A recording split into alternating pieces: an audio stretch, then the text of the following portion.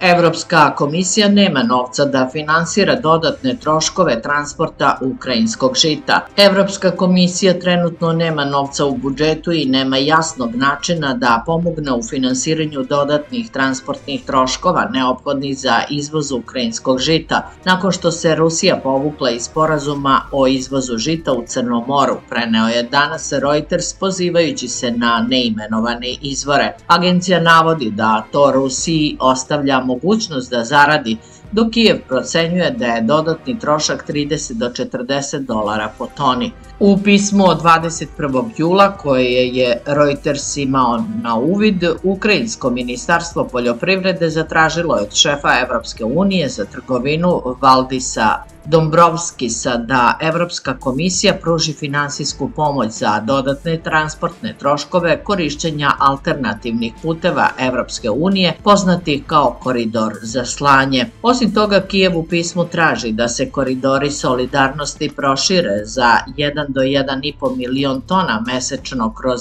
zelene koridore, koji obuhvataju Jadransko more, Baltičke države, Nemačku i Holandiju. Ranije ove nedelje Evropski komesar za poljoprivredu Januš Vojčehovski rekao je da bi Rusija mogla imati koristi od podrivanja ukrajinskog izvoza osim ako Evropska unija ne pomogne u slanju troškova, ali izvori su rekli Reutersu da još nema jasnog puta. Još nismo našli rešenje za podršku transportu žita. Mnogo je napora već uloženo u racionalizaciju sistema, rekao je jedan izvor.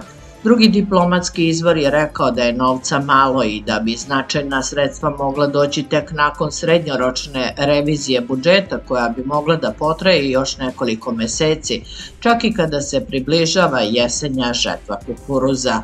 Jedno od pitanja u pismu je privremena zabrana uvoza ukrajinskog žita u pet susednih zemalja Evropske unije koje se zalažu da to traje do 15. septembra. Poljska se oštro protivi puštenju ukrajinskog žita na svoje tržište rekavši da traži fleksibilan aranžman zabrane.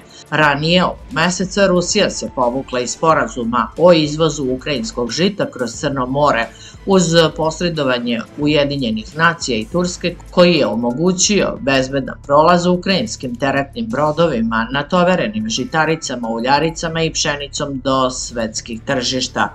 Kako prenosi Reuters, Rusija je već obećala besplatno žito nekim redovnim kupcima ukrajinskog žita iz Afrike. Ukrajina, jedan od najvećih svetskih izvoznika žitarice, sada će morati skoro u potpunosti da se oslanja na skupe rute kroz Evropsku uniju, a najjeftinija alternativna arterija, reka Dunav, možda neće moći da proširi svoj obim koliko se prvo očekivalo.